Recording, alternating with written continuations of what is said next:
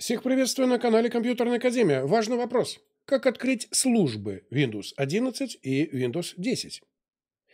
Окно службы в Windows представляет собой оснастку консоли управления MMC для просмотра списка и статуса служб, их остановки и запуска, изменения типа запуска службы и так далее. В этой инструкции для наших зрителей мы расскажем о способах, о способах именно открыть службы в Windows 10 и Windows 11. Почти все методы подойдут и для предыдущих версий системы. Итак, поехали разбираться с важным вопросом.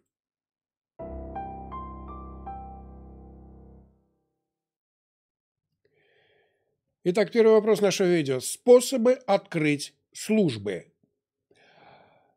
Прежде всего, если вы не знаете, э, как запустить какой-либо системный элемент в Windows 11 или Windows 10, попробуйте использовать поиск в панели задач. С большой вероятностью он вам поможет. Во всяком случае, открыть службы через него всегда получается.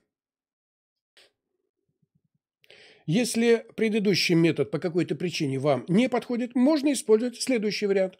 Первое. Нажимаем клавиши Win плюс R на клавиатуре или нажмите правой кнопкой мыши по кнопке «Пуск» и выберите пункт «Выполнить». Вводим вот это вот словосочетание services.msc в окно «Выполнить» и нажимаем «Ок» или Enter.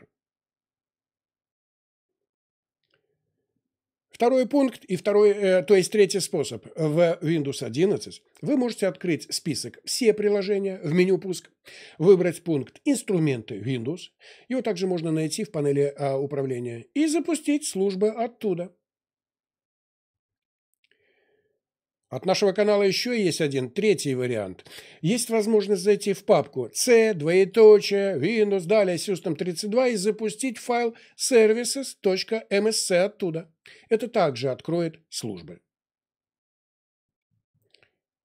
Ну а теперь секретный четвертый пункт или способ.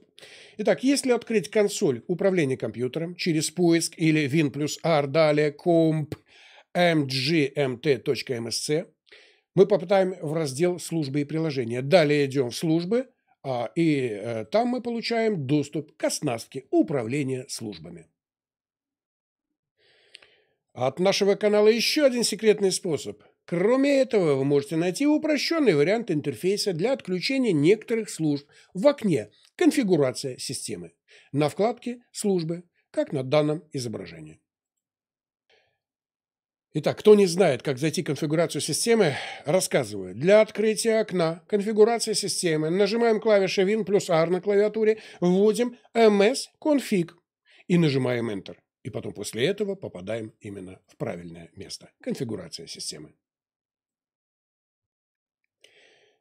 Ну и по окончанию нашего видео мы надеемся, что предложенных способов будет вам достаточно, а, чтобы, так сказать, залезть в нашу одиннадцатую винду, а может даже и в десятую, поковыряться в различных вариантах настройках, настроек, настроить именно систему под себя, и я думаю, у вас все получится. А, свежие сведения. У нас десятая винда становится все лучше, покрасивше, понадежнее. Исправление ошибок ошибками уже как бы а, прекращаются, и система приобретает более-менее рабочий вид. На наших а, технофорумах, которые проходят у нас в среду в 18 а, или в 19, в зависимости от а, вашего пояса, и в, воскрес... Э, в субботу, а, наши зрители докладывают, что 11 винда приобретает надежность, стабильность, скорость работы, скорость работы с жесткими дисками. У нее все пока что нормально. Так что вот э, наша информация по-любому вам будет нужна.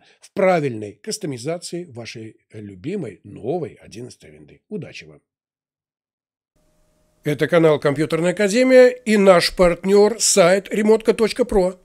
Я думаю, данная информация была вам полезна. Смотрите наш канал, ставьте нам лайки, делайте подписки. С нами будет интересно.